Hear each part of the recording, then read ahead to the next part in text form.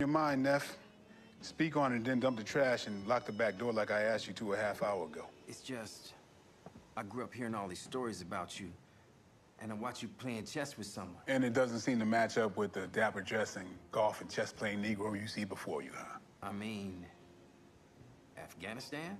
Special ops? All those crazy black Rambo Fallujah stories? All the Street Fighter stories? Look, people tend to exaggerate things because they have a need to believe in myths. But the truth is, I am no Superman. I'm not even much of a fighter. See, it's your Uncle Cody. Now, he's the real badass. And you'll see that when he comes back here for good next week. And since he's my new partner at the bar, you'll get a chance to hear all of Uncle Cody's tall tales firsthand. But for now, you need to dump the trash like I asked you to so I can get you back home. Because I do not want to hear my sister's mouth for keeping you out too late.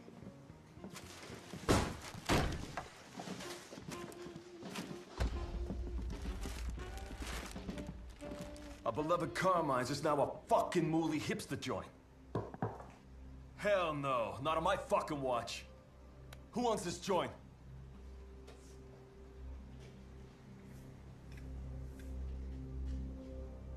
Tell you what, I'm a businessman. So I offer 20k about what you paid. You pack up, set up in Bushwick or somewheres the fuck else. And all's well. Capiche? No capiche.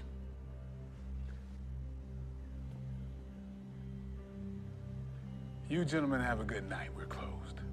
Hey, asshole. You know who this is? Relax. Paulie, I got this.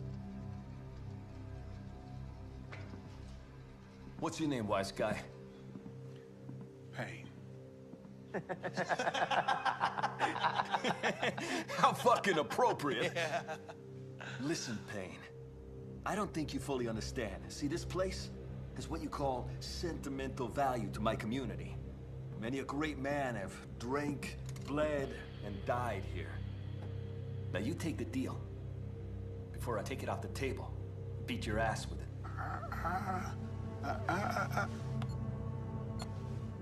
Checkmate.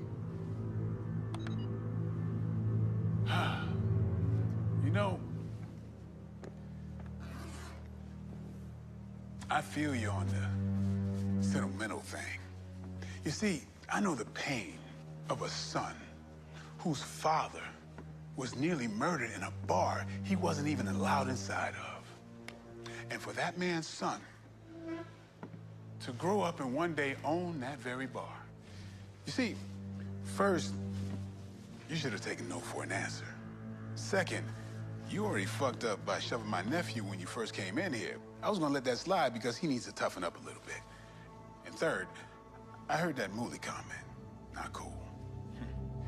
Judging by your little jailhouse shuffle and them fucked up clothes you're wearing, you've been locked up for a while.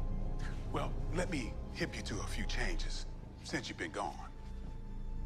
Faucets now come on by themselves when you put your hands underneath them. We've had a black and an orange president, and this ain't Carmine's no more.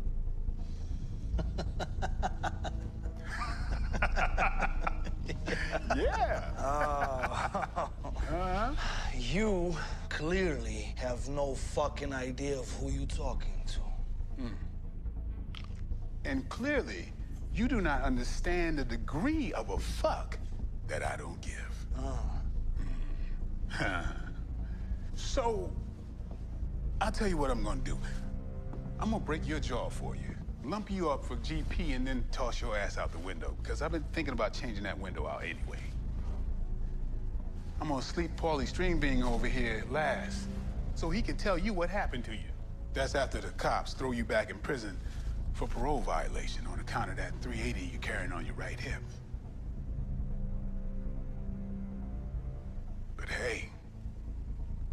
You were smart for coming strapped. But you made one mistake.